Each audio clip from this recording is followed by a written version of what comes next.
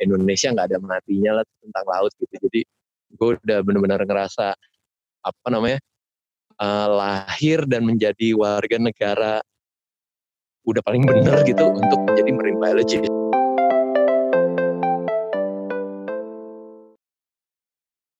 Nah, kan lo sebagai anak kelautan nih dan bakal jadi Asik. doktor di bidang kelautan kan keren nih.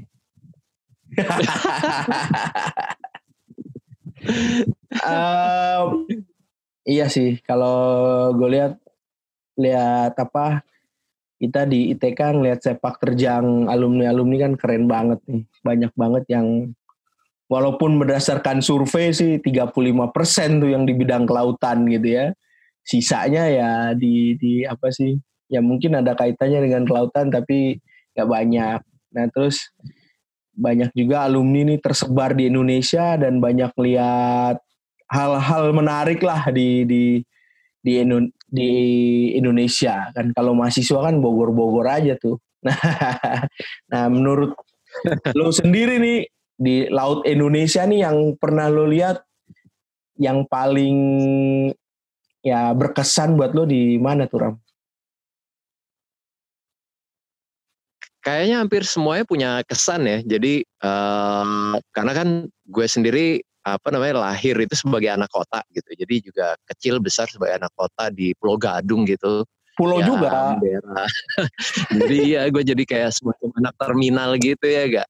Iya, iya, Jadi iya. kayak ngelihat laut tuh selalu bikin gue apa namanya, bikin selalu amazed gitu. Jadi kayak uh, jadi bahkan kalau bisa dibilang kan gue sampai lulus SMP gitu ya. Uh, eh sorry, pas gue gue baru belajar berenang itu pas SMP. Hmm. Dan ketika apa namanya dan ketika gue SMA itu karena full day school jadi gue nggak ada berenang-berenang tiba-tiba berenang lagi pas masuk ITK gitu pas masuk hmm. kuliah gitu hmm, di TW nah, lagi ya jadi dan iya jadi di apa namanya tapi kemudian gue pas pertama kali kita ke laut gitu LPT-nya FDC gitu dan itu emang luar biasa banget kan.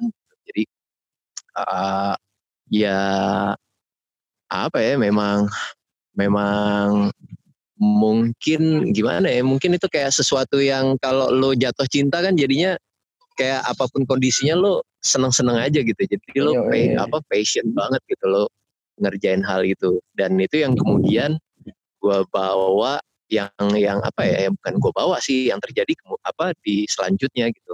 Jadi uh, dulu kita ingat lah apa namanya ekspedisi ke Belitung Timur gitu. Hmm, Belitung iya, Timur betul, bo sebelum apa namanya sebelum ada apa ke Belitung gitu kan yeah, sebelum yeah. kita ada Laskar Pelangi ya. Pelangi kita udah di situ ya gak? iya iya benar uh, benar. uh, ngelihat gitu. Dan kemudian uh, ke ujung barat Indonesia gitu ekspedisi uh, ke Sabang gitu. Sabang, karena gue ya. cukup beruntung ngalamin dua kali ekspedisi gitu. Hmm, benar-benar uh, jadi apa namanya uh, jadi memang uh, tunggu sebentar kabur anak lo. jadi memang apa namanya? Uh, dia mau main monkey bar. Oke. Okay. Oke. Okay. Halo. Ya, jadi ya apa latar belakang gue ada lentera lagi. Gak apa-apa. Aman, aman, aman. Can you one round more? Oops. Alrighty. Ya, jadi kemudian uh, akhirnya gue belajar untuk bisa melihat perbedaan-perbedaan dan keunikan masing-masing tempat kan. Hmm. Dan uh, seiring dengan apa namanya uh, ininya setelah pasca kuliah, akhirnya bisa mengunjungi banyak-banyak tempat dalam rangka pekerjaan berarti. Dan itu gue juga ngelihat sekali kalau Indonesia itu nggak ada matinya gitu kalau pria hmm. laut gitu. Uh, lo bisa ini nggak? Ya, jadi bisa ceritain nggak sedikit misalnya kayak Belitung itu apa yang kesan buat lo, terus di Sabang, terus tempat-tempat lain lah kira-kira. Uh, kalau misalnya kayak Belitung itu dulu statusnya adalah ya kita apa namanya gue tuh baru baru baru belajar selesai belajar scuba dan kemudian kita mencoba melakukan ekspedisi ilmiah. Nah jadi selama ilmiah dan itu banyak banget gitu apa namanya uh, perintilan-perintilan yang diving related maupun yang enggak indirect related gitu yang hmm. memang apa namanya ternyata uh, ternyata itu ketika di masa sekarang itu membantu gue banget misalnya kayak uh, ekspedisi dengan segala keterbatasannya gitu yeah. Iya. uh, dan di situ ternyata kayak sekarang pun gue uh, berpenelitian di Pulau Takber penghuni gitu uh, ada satu kampung sih tapi jauh banget gitu. Itu ya nggak nggak apa namanya nggak kaget lah ya. nggak aneh gitu udah nggak yeah. aneh banget. Yang lo harus nggak ada listrik gitu kan malam-malam. Iya nggak ada listrik gitu kan nggak ada listrik. Dan kemudian gue pun juga sekarang jadinya penelitian-penelitian gue ya go to basic gitu basic ecology gitu. Jadi gue sesuatu yang low technology gitu dan itu memang itu membentuk membentuk apa ya membentuk uh, di di di apa membentuk membentuk konsep-konsep di otak gue gitu Hmm. Jadi misalnya kayak uh, kalau jadi kayak misalnya adalah gue untuk untuk intervensi apa pun penelitian ataupun misalnya uh, konservasi gitu, gue lebih memilih yang low technology gitu. Jadi karena yeah, yeah. memang Indonesia karakternya itu karakter uh, kepulauan yang banyak, kecil dan juga uh, fasilitas eh, apa infrastrukturnya kurang gitu. Dan daerahnya Jadi luas lu, banget ya. Apa, uh, dan luas banget gitu dan kita masih banyak banget gitu informasi yang bolong-bolong gitu uh, nah itu misalnya kayak sekarang gue ada di apa penelitian gue di Pulau Hoga gitu uh, itu ini banget apa namanya terlatih banget dengan ekspedisi apa ekspedisi zaman kuliah di PB dulu gitu. Mm -hmm. uh, makanya dalam di planningnya dan juga sekarang tuh di ITK sendiri tuh mahasiswanya ada ekspedisi juga ram. Oke, okay. iya iya itu bagus. Bagus. Jadi ya karena dari pengalaman kita kita juga sih bahwa itu apa membantu banget dalam kemandirian gitu ya kerjasama dan lain-lain. Aha, aha, iya benar. Gitu. Itu uh, apa namanya? Uh, apa ya? Memang karena pengalaman itu ya memang harus didapatkan dari pengalaman sih gitu. Jadi iya, iya. nggak bisa diajarin di kelas gitu. Betul, uh, betul. Dan kemudian kita baru menyadari kekurangan-kekurangan itu setelah kita melakukan kan.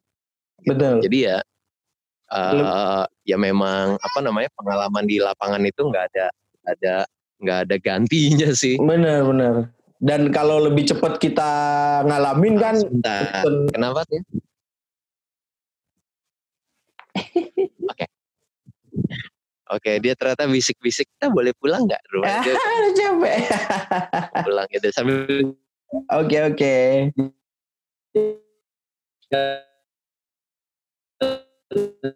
pulang ya. Yo yo yo uh, sambil jalan. Kayak gue oh ya use the hand sanitizer. Ini kayak the new normal sekarang. Jadi ke playground gitu ya, lo pakai hand sanitizer dan hmm. kemudian Twitter. Iya iya iya. Jadi kalau lo lihat latar belakang oh, playground latar daerah rumah kita ya gini nih. Keren bingit bro.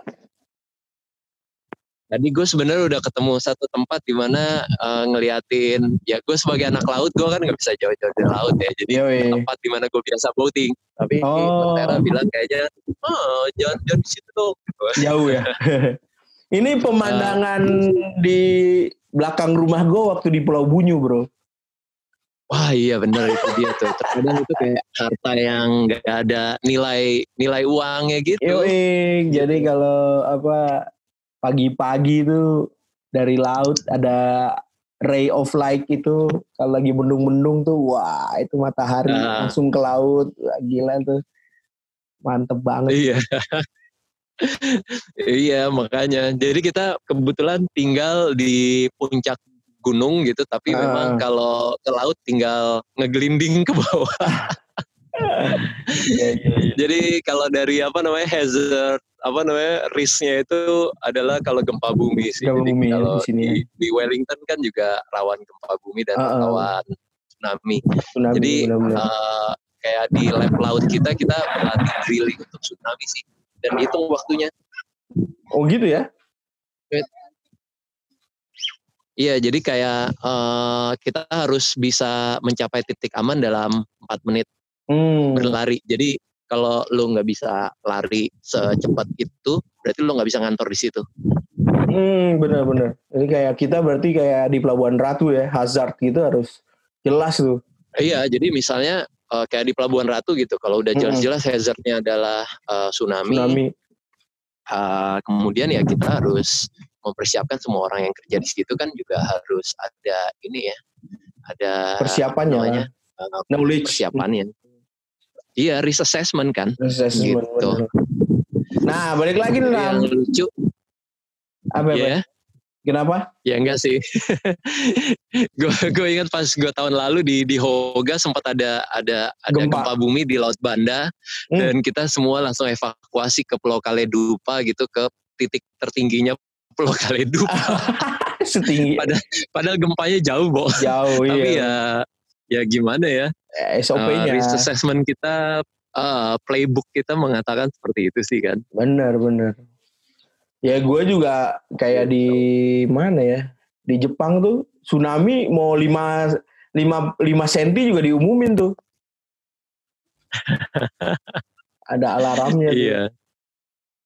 Nah balik lagi tuh. Terus Uh, eh, lu tadi kan cerita tentang which is eh, Bangka lah, Bangka Belitung, eh, Belitung ya.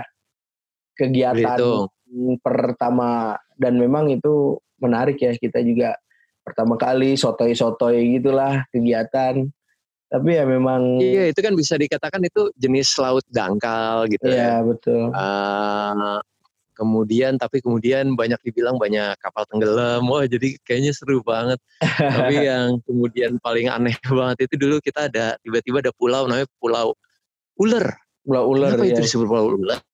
Ternyata setiap September itu tempat kawin. mampirnya ular sampai dari jauh tuh kayak bulu-bulu gitu, buset oh iya tempat ular kawin nih iya ya iya. knowledge knowledge Habis itu gue ingat banget tuh kan di situ pertama kali kita ngelihat apa namanya ular laut gitu. Mm, ya Dan benar akhirnya benar kita menjadi normal dengan melihat ular laut. Pertama-tama kali gitu semua orang gitu kan nanang pading gitu kayak mengingatkan apa tanda bahaya. Bahaya bahaya ular, bahaya Ular. bahaya ular. Heeh. Kalau sekarang mah yaudah lah ya. apalagi di di Hoga ya ke mana-mana ada ular ya. Iya benar. nah kalau Sabang itu gue ingetnya adalah itu pertama kali memang uh, tempat di mana gue encounter sama hiu. Dan Hmm. itu juga dari sebelum-sebelumnya. Kalau put in the context Sabang dulu tahun 2000 berapa ya? 2004 2004 atau 2003 2004 ya? 2004 ya apa jadi ya artinya pengetahuan kampanye akan hiu itu belum seperti sekarang lah jadi masih Iya. masih takut kita sama hiu Mm, mm, mm. tapi kemudian ya itu juga yang membuat gue jadi kayak apa namanya oh hiu oh hiu is cool gitu biasa-biasa aja gitu artinya malah seru gitu dengan hiu Mm, mm. jadi ya seperti itu sih eh ya kemudian ya perjalanan pasca lulus yang membuat keliling-keliling Indonesia gitu yang kayak gue bilang memang Indonesia nggak ada matinya lah tentang laut gitu. Jadi gue udah benar-benar ngerasa apa namanya eh, lahir dan menjadi warga negara udah paling bener gitu untuk menjadi marine biologist gitu. Bener-bener bro, gue juga dulu pilih kelautan gara-gara gue ke Derawan bro, kelas 2 SMA, 2 SMA nggak salah. Dan oh, gila loh. ya ya keren banget gitu.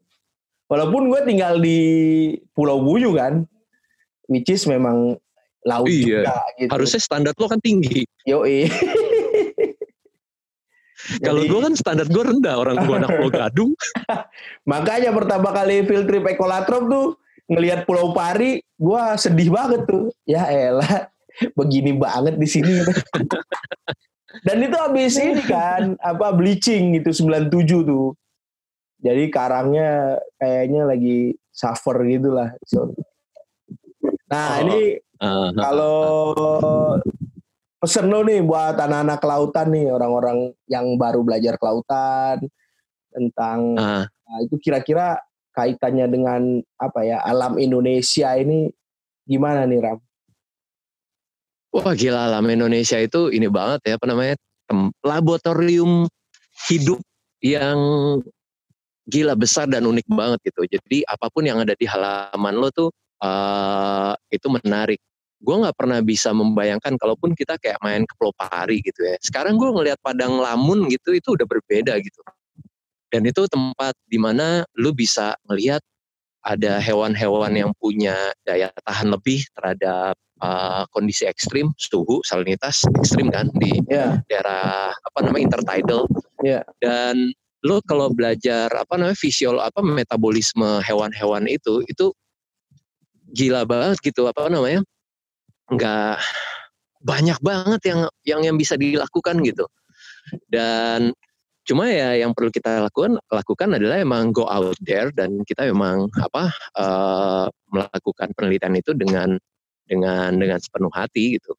Karena memang kalau lo nggak passionate gitu itu jadi kayak capek atau memberatkan gitu. Tapi kalau lu tahu apa namanya tujuan akhirnya dan memang eh, lo seneng gitu ya ya membuat itu menjadi lebih lebih punya makna lah gitu. Cuma lu di mana pun di Indonesia gitu itu apa namanya eh, gila banget deh informasi yang bisa didapatkan gitu.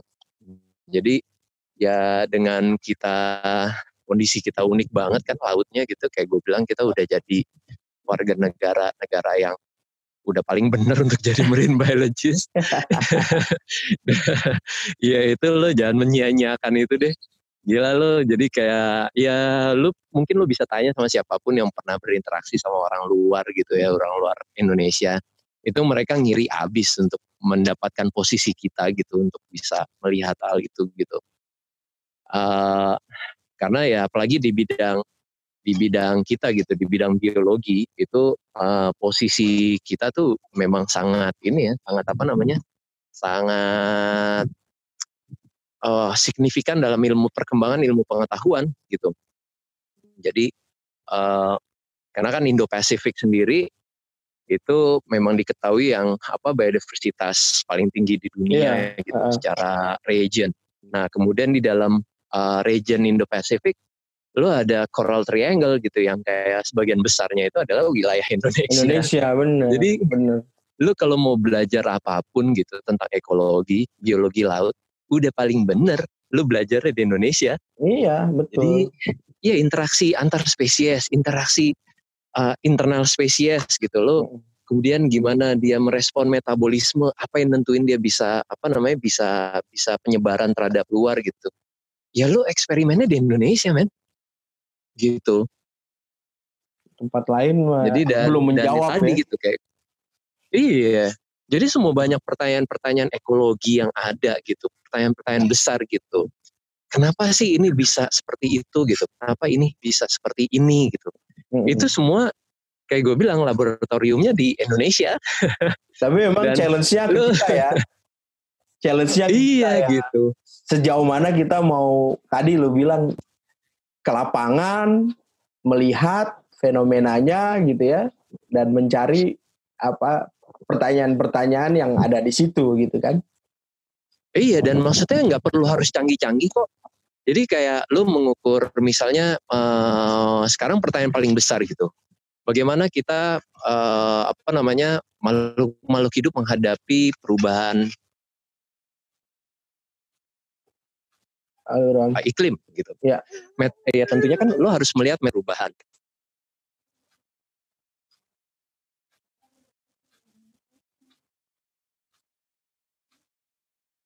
Eh, standarnya metabolisme kan ukur ya itu namanya Q10 kan. Jadi Iya. seberapa besar eh, metabolisme lo eh, bergeser nah Hmm. respirasi misalnya ketika suhu dinaikkan 10 derajat. Mm. Dan itu lu dengan kita berapa ribu-ribuan spesies yang ada di Indonesia gitu, lu nggak bisa habis gitu. Iya, pasti ada itu novelty bisa terus kayak- kan? Modalnya tuh cuma incubation chamber. Iya benar. Iya. Itu juga bisa Iya. dibuat ya di kita ya. Termometer. iya. Lu eh ya maksudnya jadi artinya kita udah nggak usah yang kayak oh ini mahal, oh apa Mm-mm. mahal gitu. Ah, ah, ya kita bisa ngerjain itulah Iya. gitu. Berarti yang kadang-kadang eh, apa high tech high tech itu juga nggak terlalu apa ya menghambat kita untuk mengeksplorasi apa sih yang ada di laut Indonesia ya. Iya, heeh, gitu. Dan Apa memang namanya? eh Iya, jadi ya poin gue sih ya eh gue sih cukup cukup ternyata gue ketika melihat sekarang gue cukup senang misalnya eh, ternyata gue ya kita tumbuh dengan segala keterbatasan gitu. Kita Iya. tahu eh, bagaimana memaksimalkan sumber daya gitu. Dan ya kayak sekarang gue ya tadi kayak gue bilang kondisi-kondisi tersebut membentuk eh, apa ya?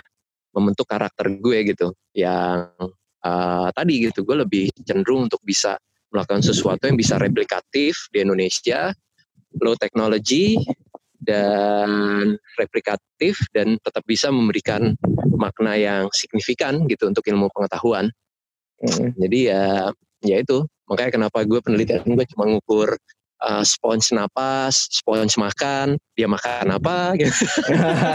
itu kan basic banget tapi kan kalau ditanya kita juga nggak bisa Iya. jawab. Kalau nggak ada yang iya jadi gue nggak canggih-canggih gitu Ya deh, oke deh Bung Ram.